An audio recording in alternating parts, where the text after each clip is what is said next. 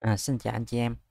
Thì kết thúc tuần vừa rồi, một cái tín hiệu ờ, có cập nhật thì mình làm một cái clip để ờ, anh em cùng nhìn nhận cái dữ liệu. Thì ờ, cái hệ thống mà mình hay dùng á, cái phiên cuối tuần vừa rồi nó cũng ra một cái tín hiệu báo bán. Thì mình cùng phân tích thử cái, cái giai đoạn này xử lý như thế nào đối với cái tín hiệu này. Thì trước tiên là những cái dữ liệu mà vĩ mô nó xuất hiện vào cuối tuần anh em thấy là bản lương phi nông nghiệp của ờ, Mỹ thì nó vừa công bố ờ, phiên hôm qua là nó cao hơn khá là nhiều so với những cái dự báo và chu kỳ trước đó. Thì ờ, cái mức độ ảnh hưởng của cái chỉ báo này nó thuộc dạng là cao, đánh dấu 3 sao tức là cao nhất trong các cái mức độ ảnh hưởng tỷ lệ thất nghiệp thì nó cũng ờ, có phần tăng so với ờ, dự báo và trước đó tăng nhẹ. Thì ờ, giai đoạn gần đây á, mình có bỏ thời gian mình viết những cái chữ chỉ báo những cái chỉ báo ở trong phân tích vĩ mô nè. Tuy nhiên là những cái bài viết này nó chưa có hoàn thiện và mình chưa có link những cái bài viết với nhau. Thì sẵn sẵn có cái sự kiện này nên mình chia sẻ đến anh em um, cần thì có thể đọc trước. Tuy nhiên là khoảng một tuần nữa thì mình sẽ tập hợp liên những cái bài viết này nó thành một cái bộ khung. Lúc đó anh em sẽ dễ uh, dễ hình dung hơn và mình sẽ làm một vài clip ngắn mình nói về những cái này. Thì trong đây mình có chia sẻ những cái bài viết uh, uh, ví dụ như đang nói về tình hình việc làm thì mình nhấp vào tình hình việc làm thử thì cái bài này à, mình nói chung mình viết cũng khoảng à, một tuần gần đây thôi. Mình ngồi mình à, tập hợp lại thì ở trong đây nó sẽ có à, cái chỉ số nó là cái gì? Rồi lịch sử phát triển của chi báo rồi ý nghĩa và cách sử dụng đó. Cái thứ ba là tác động của nó. Thì tác động nó sẽ chia làm tác động đến trái phiếu tác động tới cổ phiếu và tác động tới đồng đô la. Thì anh em đọc tới ví dụ như mình nhấp vào cái tác động tới thị trường thử thì anh em thấy là đối với trái phiếu á, thì những cái uh, báo cáo về việc làm mạnh mẽ hơn á, thì nó sẽ và bất ngờ hơn so với dự báo á, thì nó sẽ là cái điều không có tốt đối với trái phiếu. Tức là giá trái phiếu nó sẽ giảm và lợi suất trái phiếu nó sẽ tăng. Thì anh em nhìn à, cái này nó phản ứng hôm qua là nó phản ứng theo đúng cái à, những cái gì mà sách nó nói. Thì những cái bài viết của mình đa phần là mình lọc từ những cuốn sách và mình tập hợp nó lại mình chuyển ra thôi, chứ còn những ý này không phải là những ý copy trên web, chắc chắn là không có trang web nào ở trên mạng mà nó có những cái nội dung này.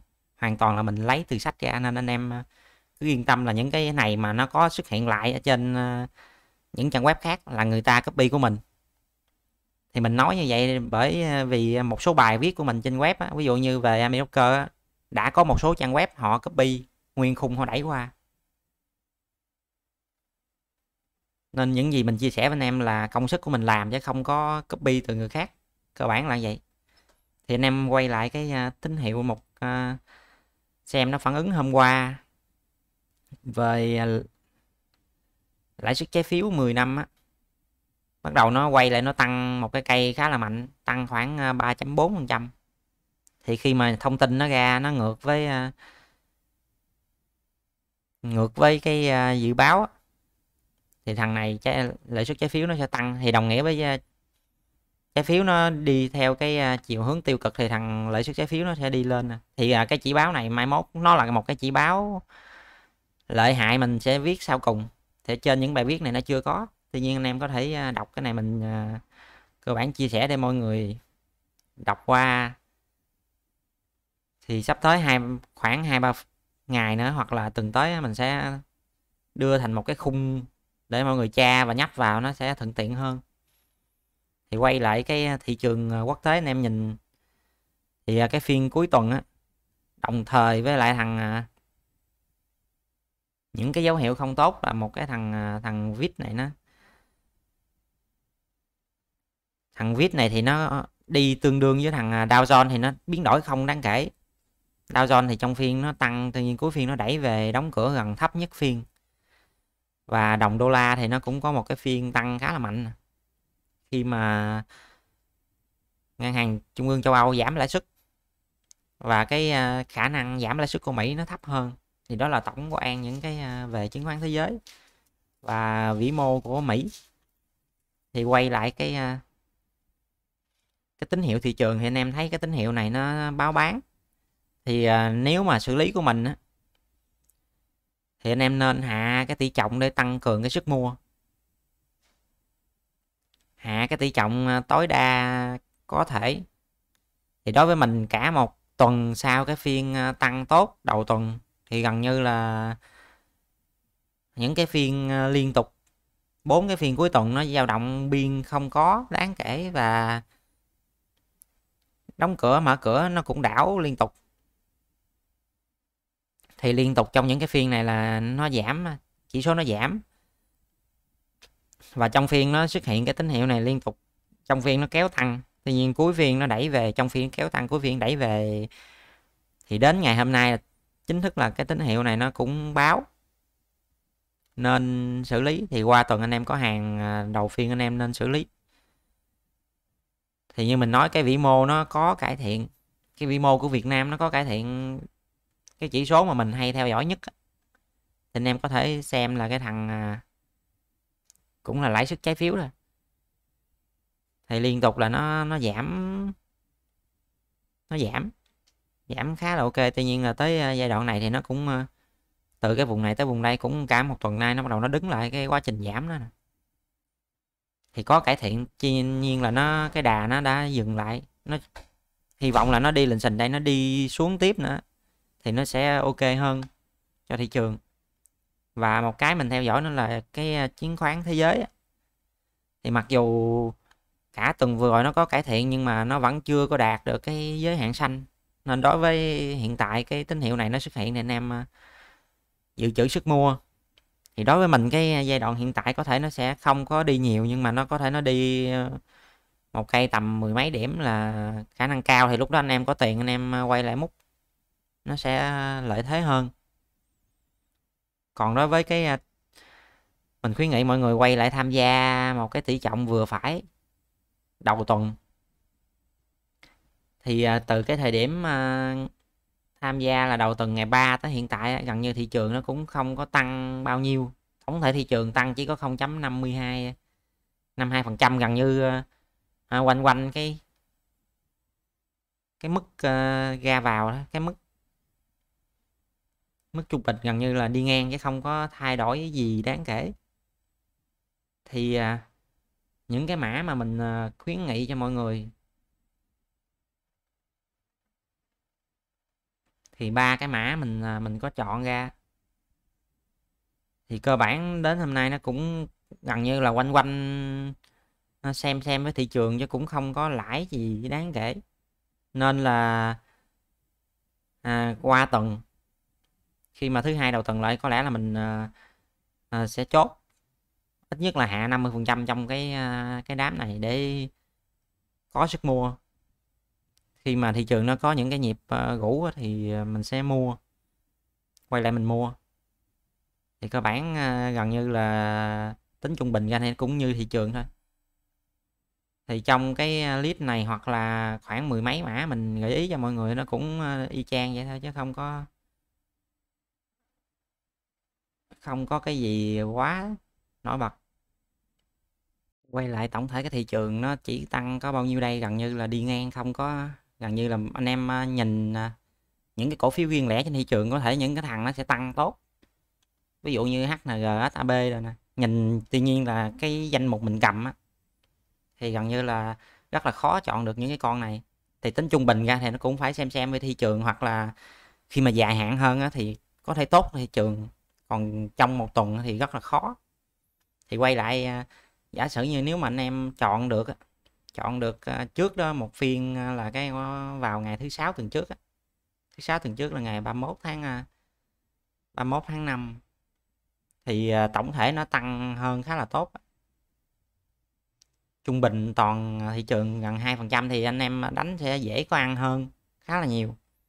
Thì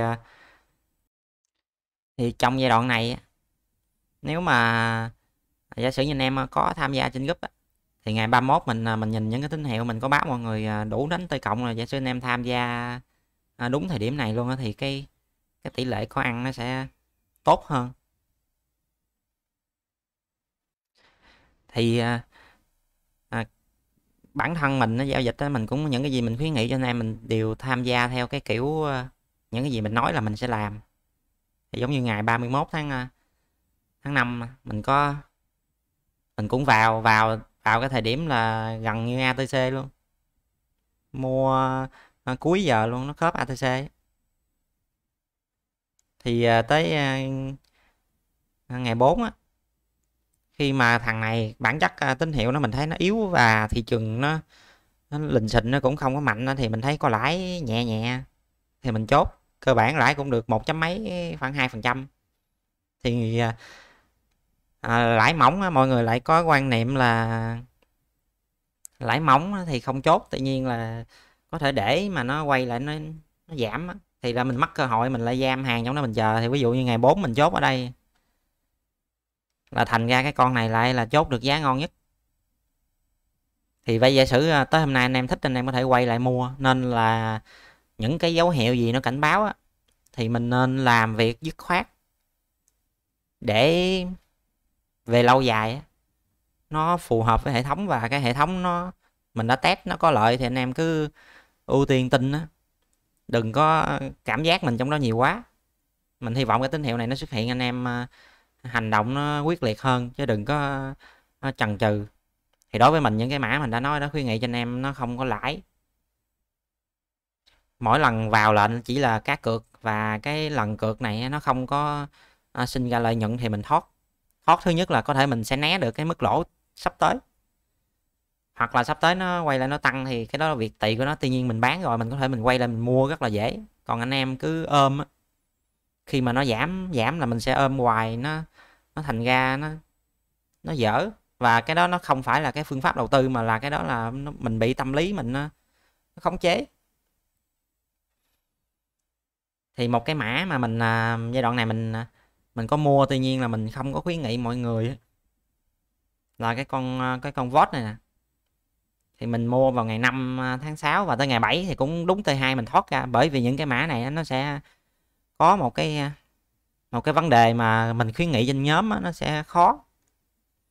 Anh em thấy ngày 5 tháng 6 tại sao mình mua con này mình cũng sẽ chia sẻ và mình để mọi người có thể hình dung cái cách. Là tới ngày 7 là mình bán thì cái con này lãi được khoảng ờ, 8 trăm mấy phần trăm ôm 2 ngày. Thì mình bán lúc giá 18.15 ờ, là vừa bán ờ, hôm hôm qua thì quay lại mọi người nhìn cái con vót thử để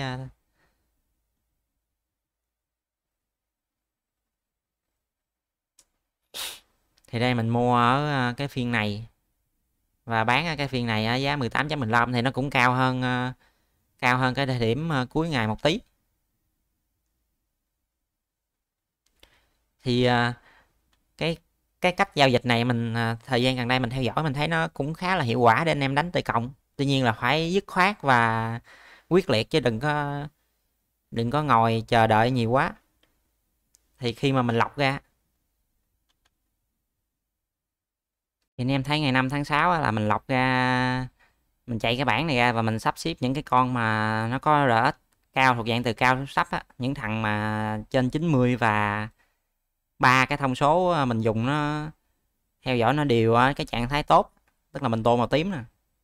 Và nó có hai phiên giảm liên tục thì mình mua. Hoặc là những cái con, cái kiểu như nó tăng. Tuy nhiên là tăng nhẹ và von nó chưa có vào. Thì những con đó anh em cũng thể mua thì à, mình mua cái con vót này đúng ngày ngày năm. Là cái ngày đó mình mua à, lúc nó đang giảm. Thì mình chạy mình chạy cái bộ lọc này ra mình thấy những thông tin này à, nó ok thì mình thử. Nói chung là cái này mình à, mình đang thử. Nếu mà sắp tới khi mình thử một vài con nữa mình thấy nó ok thì mình sẽ viết thành một cái hệ thống để à, à, mình sẽ tập trung à, lựa kiểu này. Để anh em đánh đúng T2 là anh em thoát khỏi có chờ đợi hoặc là có lãi là thoát, chứ không có ôm dài thì cái cách này mình à, theo dõi vài mã à, trong giai đoạn thị trường lình xình như hiện tại thấy nó ok. Thì con vót này mua đúng à, đúng thời điểm. Và chốt nó cũng có thể nó còn tăng nữa. Tuy nhiên là mình phương pháp đang là đánh T2 mình không có, mình không có quan tâm nhiều là sắp tới nó đi lên hay là đi xuống. Thì một cái mã vào ngày năm mà anh em cũng có thể nếu mà theo cái phương pháp này có thể quan sát là cái con à, MCH nè. Ba cái thông số mà mình à, theo dõi nó đều là đang ở trạng thái cực kỳ tốt. Và hai phiên liên tục nó tăng chưa có phiên nào được à, một phần trăm hết. Và cái phiên hiện tại thì vol nó, nó nhỏ nữa. Giả sử như anh em nhìn những cái thông số này anh em múc con này MCH vào ngày 5 tháng 6 thì ngày 5 tháng 6 là giá này thì anh em ăn được cái cây này nè. Khoảng năm trăm mấy phần trăm cũng là à, có thể ăn được. Thì mình quay lại à, ngày trước đó thử một vài mã anh em tham khảo thử. Ví dụ quay lại à, ngày 4 này. Thì quay lại anh em thấy à, mình ví dụ thử ngày 4 cho anh em thấy là ngày 4 thì đây ngày 4 thì những cái thằng mà nó nó đạt cái chỉ tiêu của mình thì nó từ trên xuống dưới nó không rất là ít. Thì tới cái Hà Đô Hà Đô là ba thằng này cùng tím và phiên liền trước á. Phiên liền trước của Hà Đô là giảm. Và phiên hiện tại nó tăng chưa tới một hai phiên này dao động không tới một phần trăm. Và cái phiên tăng này von nó nó có cải thiện so với cái phiên giảm trước đó. Thì giả sử như nếu mà mình mua Hà Đô ờ, ngay giá đóng cửa 33 chấm ngay ngày hôm đó đây thì anh em thấy là à, mua vào ngày 4 đây ngày 3 ngày 4 thì anh em mua ở đây. Thì cơ bản là hàng về. Thì có thời điểm nó tăng rất là tốt. Nó tăng tới khoảng uh, giả sử mua 33 chấm à, uh, 95 thì nó tăng trong phiên có lúc uh, giá khoảng 35 để anh em chốt. Còn giá về 34 chấm mấy thì cái này cuối phiên thì mình nói đó. Khi mà có lãi ok anh em cứ cứ chủ động chứ không có chờ. Giả sử như mình lấy đâu quanh quanh đây thì cũng được khoảng vài phần trăm cứ đánh tơi cộng cái kiểu này thì à, cũng là một cách lọc. Hoặc là một cái à, cái mã thì có thể tạm chấp nhận được ở trong cái list này là con à, cái con TV2 nè.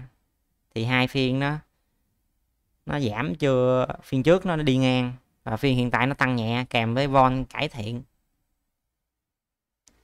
Tuy nhiên là von của thằng này thì nó nó không có đạt trạng thái.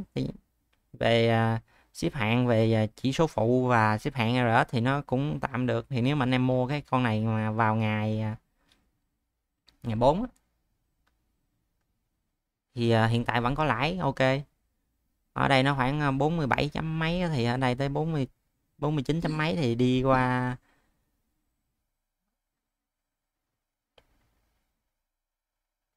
thì cũng khoảng được 5 phần trăm thì mình ví dụ thử về ngày 3 nữa cho mọi người tham khảo. Thì đây cũng là một cái cách mà mình mới theo dõi ờ, ờ, trong cái giai đoạn mà thị trường đi lình xình này nữa.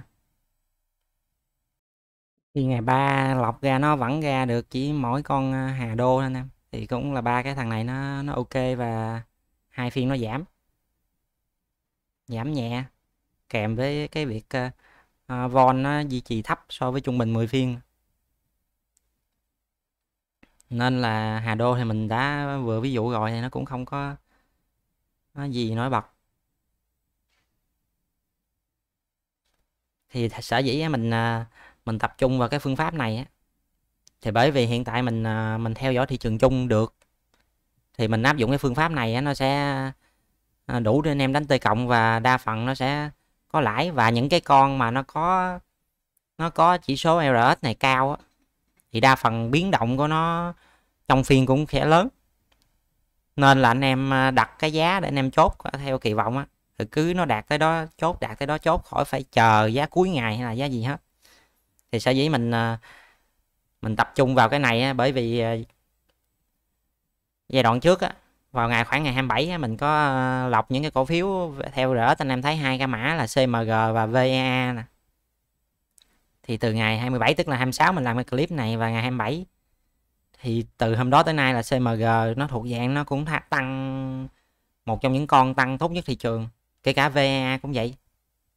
Nên là cái rs này là cái mình nghĩ nó nó phù hợp với cái cái lý thuyết mà mình đang theo đuổi.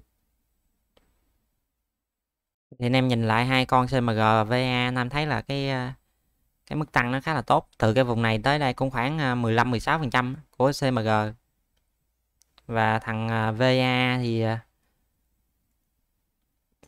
mua cái phiên à, ngày 27 nếu mà 27 anh em bản chất á, mình làm cái clip 26 là 27 ra nó mở cửa chỉ cái vùng giá này thôi. Tuy nhiên cuối phiên nó kéo lên đây, nếu mà anh em mua mua được cái vùng giá này thì cũng cũng không có đẩy về lỗ. Dùng giá mở cửa nó để mua thì cả một tuần nó không có, nó không có tiến triển đầu phiên nó kéo sao cả tuần nó giảm tự nhiên là nó kéo lại những cái cây cũng ăn cực kỳ tốt. Nên là cái à, cái quan niệm khi mà nhìn được thị trường chung thị trường chung nó ok thì anh em sẽ lựa những cái con mà nó đang nó đang có những cái thông số tốt thì cái kiểu gì nó cũng sẽ sinh ra lãi. Như là con này cũng tăng được khoảng 13 phần trăm. Tuy nhiên là cái trọng tâm của cái phương pháp này mình à, thời gian ngày trước mình xem thường cái thằng RS bởi vì ờ, khi mà test ra thì nó lại ờ, cho cái kết quả rất là thấp. Tuy nhiên thời gian gần đây mình lại nghiệm lại một điều là khi mà dùng kết hợp nhìn được thị trường chung và đưa được thị trường chung vào hệ thống thì áp dụng thằng này nó sẽ hiệu quả. Nếu mà đón thị trường chung sai thì những cái nhịp ừ, anh em trên thị trường anh em hiểu là nó đi lên sao, nó sẽ đi xuống theo tương tự như vậy. Nên là nếu mà đón sai thì những cái nhịp giảm đó mình cũng sẽ bị dính rất là nặng. Thì đó là cái trọng tâm của cái phương pháp này. Thì à, tóm lại quay lại thời điểm hiện tại là tín hiệu này nó báo à, thoát hàng. Nên là chắc là hôm nay mình cũng sẽ không có lọc ra cái cổ phiếu cho anh em. Nếu mà một hai phiên nữa có cải thiện thì mình sẽ lọc mình vài tìm vài cái cổ phiếu để mọi người à, à tham gia. Ít nhất là t cộng cũng được. Tuy nhiên là hiện tại à, quan niệm của mình vẫn là hạ tỷ trọng để dự trữ sức mua.